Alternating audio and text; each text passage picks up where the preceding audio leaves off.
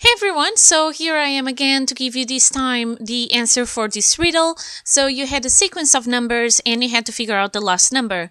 The numbers were, were 1, 3, 6, 10, 15, 21 and um, as I said you had to figure out the next number. So I'm going to give you the answer.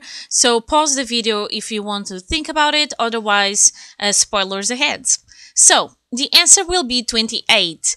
And the way that you do it is by knowing that every time you go up a square, you're doing the previous number plus the number of the square in the sequence. So for example, 1, so the solution here for 3 is 1 plus 3 is the number 2 in the sequence, the second square, so it gives you 3. And then 6 will be 3 plus, and 6 is the square number 1, 2, 3. So it's the third number, so it gives you 6. 10 will be 6 plus, in this case 4.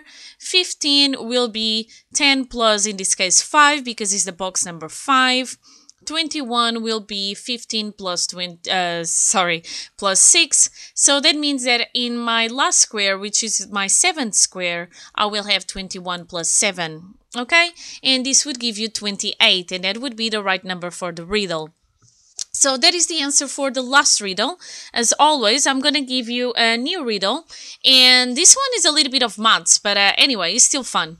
So um, I, I just gave the impression that maths is not fun, but anyway. So find the area and the perimeter of the shaded area. So I have here these shapes. I'm not even going to give you clues and I want the area and the perimeter of this part here that is shaded in this kind of purplish color or dark pink color. So the only things that I tell you um, are that the area of ABCD, so the large shape, is 81 centimeters squared. And uh, the other thing that I tell you is that the side EC is two thirds of the side CD, okay? And that's all that I'm going to say. I don't want to give you any hints or clues. So if you want to know the answer for this riddle, just, you know, keep tuned. I'm going to give you either in a week or two weeks time.